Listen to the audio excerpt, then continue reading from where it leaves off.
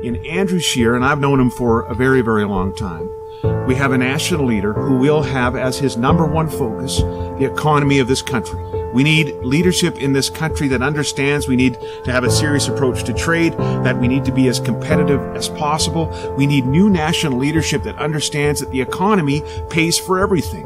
That all of the sloganeering and virtue signaling in the world is never a replacement for a solid economic growth agenda that will assure the sustainability of our social programs, of our social safety nets, and that will also assure quality of life for all Canadians.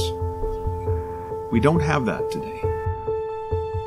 My friend Andrew Scheer understands that. This will be his priority, and he's leading a team that's going to be ready to go from day one. And in Andrew, we, we not only have a leader with that perspective, with that understanding of the primacy and the importance of, of focusing on Canada's economy, we also have someone who is hardworking, who is honest. I've known him for a long time. We have someone in Andrew who is humble, who very much reflects the great values of our country, of Canadian families, back to them. If only we could get him to smile.